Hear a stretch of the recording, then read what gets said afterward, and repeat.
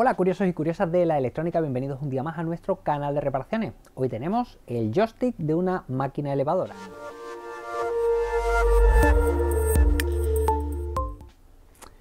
Bueno, este joystick nos llega y bueno, según nos cuentan, ¿vale? En el parte de reparaciones, eh, nos dicen que la placa debe de tener algún tipo de problema con algún condensador porque a veces funcionan las ruedas de la plataforma y otras veces no. Vale, por lo que intuyo o entiendo es que es el joystick de una plataforma que va a tener unas ruedas motrices que lo que va a hacer es que esa plataforma pienso que se va a mover. Eh, lo primero que hemos hecho ha sido pedir el esquemático de conexión para ver por dónde sube alimentación, por dónde se alimenta el joystick este y qué tipo de salida es la que nos tiene que dar, ¿vale? Por lo menos voltios y polaridad. Em, nos habla de unos condensadores en una placa, ¿vale? Lo que pasa es que lo primero que en lo que yo me centro es que este conector viene bastante sucio lo ideal sería limpiarlo y luego esta manguera helicoidal viene con un montón de empalmes, ¿vale? No solo me estoy refiriendo a este empalme, sino que por aquí está cuarteada, aquí tiene cinta aislante, como si ya la hubiese machacado la máquina al subir y a bajar más de una vez, ¿vale? Evidentemente, si tenemos una mala conexión en un cable que entiendo que está constantemente vibrando y en movimiento, puede ser, ¿vale? Se lleva todas las papeletas de que sea uno de los causantes del problema de ahora funciono, ahora no, ¿vale? Nos vamos a acercar porque quiero que veáis con detalle, además necesito grabarlo porque lo que vamos a hacer es un cambio de cableado al completo y vamos a intentar hacer una restauración de este joystick, por lo menos lo mejor posible, para ver si conseguimos dejarlo bien, ¿vale? Funcionando. Vamos a acercarnos y vamos a verlo de cerquita. Eh, cuando nos acercamos a la caja, ¿vale? A la caja de control y demás, eh, lo primero que vemos es que tiene como mucha pintura, ¿vale? Intuimos que esto se dedica a proyectar algún tipo de pintura, lo mismo es para hacer inífuga las vigas de hierro o no sé, algo así que porque es una pintura como muy gruesa, ¿vale? Aquí hay como espuma de poliuretano, ¿vale? Por aquí arriba. Hay como muchas capas distintas antes de llegar, digamos que a la parte metálica vamos a ponernos por aquí y vamos a ir viendo paso a paso este joystick, ¿vale? Lo primero que vemos que tiene como un reposa muñeca. Este joystick eh, tiene un pulsador aquí. Posiblemente será un sistema de seguridad, ¿vale? Para que tú no puedas poner en marcha si no le dices que, que tienes el mango sujeto. Esto tiene el recorrido hacia adelante o hacia atrás y luego retorna a su posición central. Veo que el, el quitapolvo este está destrozado. Luego aquí arriba, aquí arriba, pues tenemos también un poco oculto, pero tenemos un pulsador que es, va a la izquierda o a la derecha, ¿vale? Podemos seleccionar izquierda o derecha. Posiblemente posiblemente nosotros podemos decirle que ande hacia adelante, andarían las dos ruedas y si pulso, posiblemente hago que solo funcione la rueda izquierda o la rueda derecha, ¿vale? Tanto hacia adelante como hacia atrás. La posición central intuyo que será parado. Esto es una seta de emergencia, ¿vale? Luego veo que se ha perdido una protección, ¿vale? Como esta, lámina de plástico es una protección que debería de estar aquí encima que protege, aparte de que será eh, la que nos indique qué hace cada botón, porque aquí veo que hay distintos pulsadores, ¿vale? Aquí hay pulsador, pulsador, pulsador, otro, otro, otro, oh, mira, y este, este se ha quedado hundido hacia abajo. ¿Qué es lo que está ocurriendo aquí? Bien, que la acumulación de restos de pintura y de restos de polvo, agua o todo lo que pase por aquí. Mira, veis que esto era, esto era como una lámina de plástico protectora, incluso aquí creo que hay un, un diodo LED por abajo. Bueno, pues todo esto lo vamos a rascar, lo vamos a quitar. Vamos a eliminar todo esto. Y como no tenemos eh, la plantilla original, lo que vamos a hacer es poner por lo menos un acetato transparente que nos permita pulsar los botones. Mira, mira este. Mira, este lo acabo de pulsar y se ha quedado se ha quedado hundido. ¿Qué es lo que pasa? Que si yo pulso un botón y ese botón se me queda presionado, como parece que está pasando aquí, cuando la placa electrónica tiene una orden eh, de trabajo, ya no va a funcionar el resto de órdenes que les estemos dando ni con el joystick, ni con nada, ya ni avanza, ni retrocede, no hace absolutamente nada. ¿Por qué? Porque tengo un pulsador que está comandando. Nada más que es que no sube para arriba, se ha quedado hundido para abajo y no sube. Bueno, vamos a separarnos un poquito más. Y esto bascula, mira, vemos que choca aquí un poco. Y cuando lo abrimos, así al completo, vamos a poder observar que en su interior, pues evidentemente tenemos una placa electrónica con una serie de microcontroladores. Esto supongo que tendrá algunos movimientos y algunas cosas ya preprogramadas. Y lo que sigo viendo es, mira aquí el conector por ejemplo lo han recortado, han soldado el último pin en una resistencia, no le han puesto funda termorretráctil, no le han puesto nada. Luego los conectores, los conectores, si os fijáis, no están limpios del todo. ¿Vale? Estos conectores, eh, pues puede ser que no estén haciendo bien contacto. Todo esto habría que limpiarlo muy bien. Limpiar también los pines machos que están aquí. Y en principio lo que vamos a hacer es documentar un poquito cómo está el cableado porque todo este cableado lo vamos a sustituir por cables nuevos. ¿Vale? Aquí salen dos cables rojos que vienen por aquí. Luego tendremos que hacer un esquemático, ¿vale? Para ver cada hilo antes de quitarlo, desde dónde hasta dónde va. ¿Vale? Este vemos que sale por la manguera, que es la manguera helicoidal esta que tenemos aquí, que saldrá al conector de 5 pines. Aquí tenemos el, rojo, el negro, azul, blanco y amarillo. Bueno, pues luego tendremos que ir viendo dónde va cada cable, a cada conector. ¿Vale? Teniendo cuidado, mira, fijaros, aquí hay un cable suelto ya. ¿Vale? Pues este cable suelto, mira, por suerte, podemos ver que viene de aquí de esta soldadura. ¿Vale? Igual. Eh, lo que han hecho ha sido eh, soldarlo justo aquí, se habrá partido en algún momento y lo han soldado justo aquí, pin. Pero claro, esto está tan frágil que con tantas vibraciones y tantos movimientos se termina partiendo. Luego aquí en la parte del joystick también veo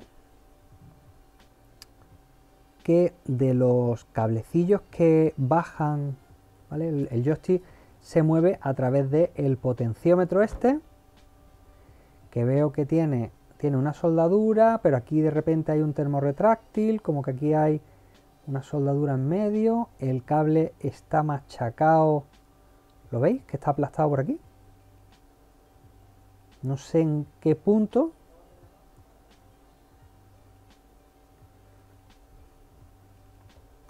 Incluso está, demasiado fino, ¿eh?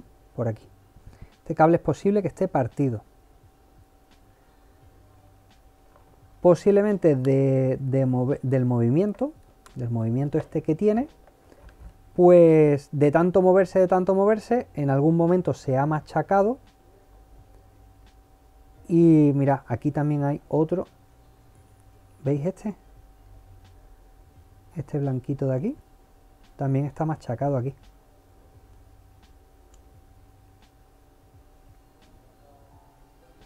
no sé qué pieza es la que tendrá algún movimiento o el mismo roce, mira, el mismo roce a lo mejor con estas láminas metálicas es la que está haciendo que se que se afilen. Luego lo vemos que pasan por aquí, vienen, están sujetos con unas bridas, sujeto con unas bridas y vienen al conector este que es el que hemos dicho antes.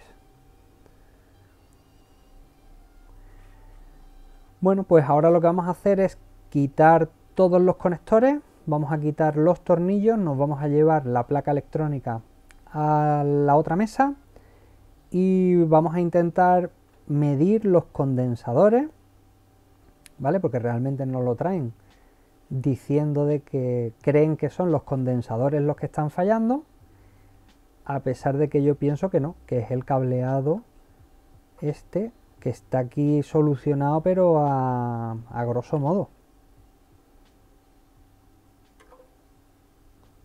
esto está hecho un poquito regular. Entonces vamos a identificar dónde va cada cable, ¿vale? Este que acabo de quitar viene aquí. Vamos a asegurarnos de que no hay posibilidad de meterlo aquí, por ejemplo. Que sí la hay, porque son 1, 2, 3, 4, 1, 2, 3 y 4. Vale, entonces vamos a documentar que primero viene el cable rojo, negro, amarillo. Luego viene el conector azul y negro. Luego viene eh, como el de alimentación, rojo, negro. Luego viene el que tiene muchos colores, que se le ha partido el cable amarillo. El último del todo está vacío, Aquí tenemos un conector grande, este sí que no hay pérdida, solo hay un conector así de grande. Por aquí al final, a la seta de emergencia, vienen el positivo y el negativo. Y el IDC este, que tampoco hay peligro de que nos podamos equivocar porque no hay más sitios donde poder conectarlo. Así que vamos a quitar todas las tuercas Quitamos la placa, medimos condensadores y seguimos.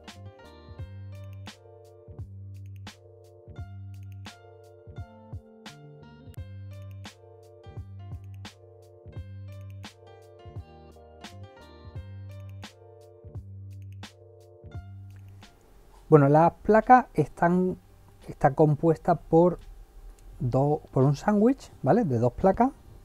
Estos son los pulsadores que tenemos por la cara de abajo, ¿vale? Que este pulsador, por ejemplo, está pulsado.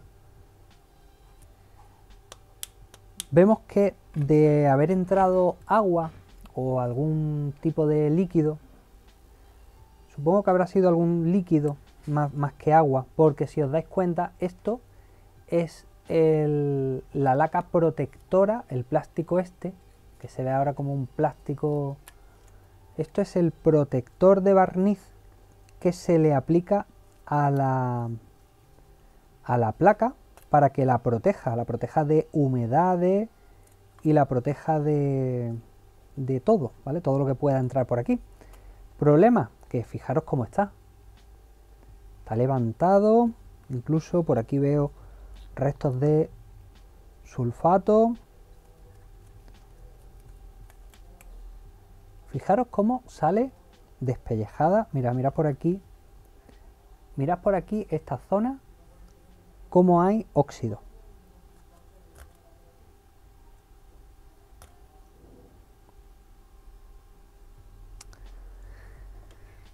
Mira toda esta zona de aquí,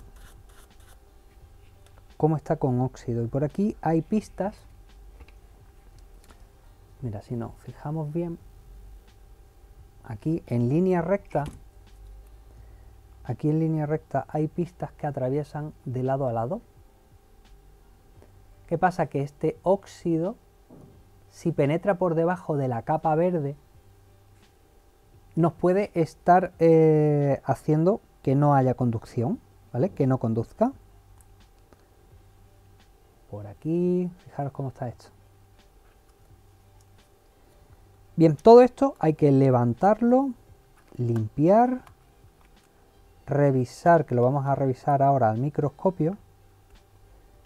Eh, todas estas pistas finas hay que ver que la oxidación esta que estamos viendo por aquí arriba pues no le haya afectado que sigamos teniendo conductividad por aquí veis si, rasco se ve el cobre Volveremos a hacer la técnica de rascado con el lápiz de fibra.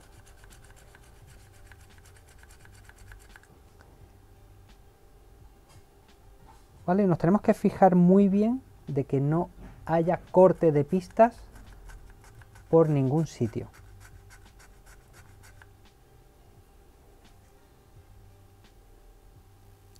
Si hubiese alguna pista que estuviese cortada, hay que recuperar la pista, hacer soldadura, luego todo esto lo vamos a proteger con el V66, con la laca protectora.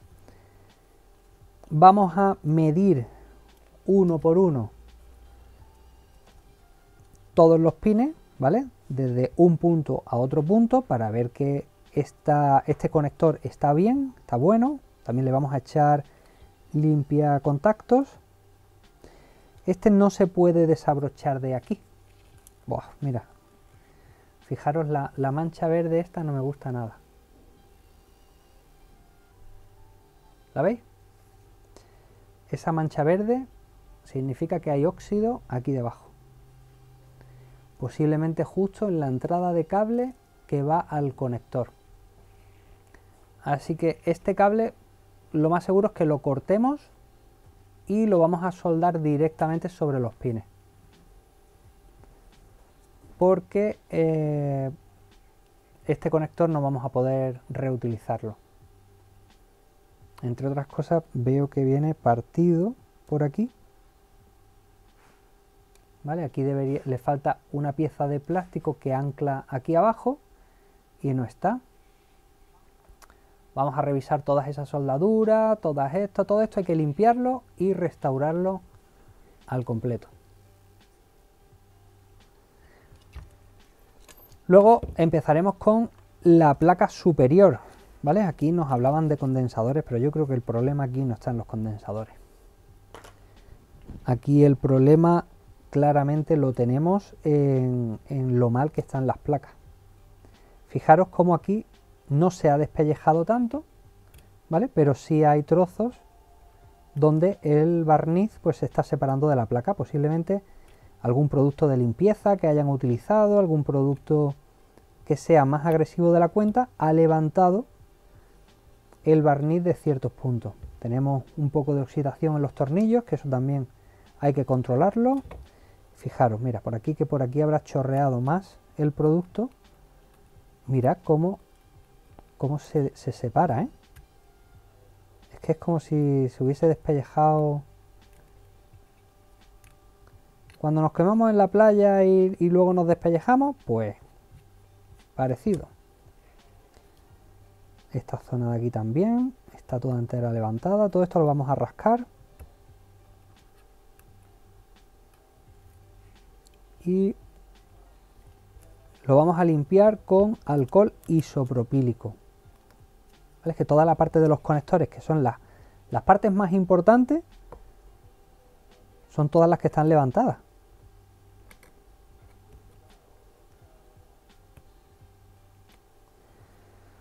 Venga, pues vamos a empezar a despellejar todo esto, a hacer una limpieza de restauración. Pero esto vamos a pasarlo ya a cámara rápida.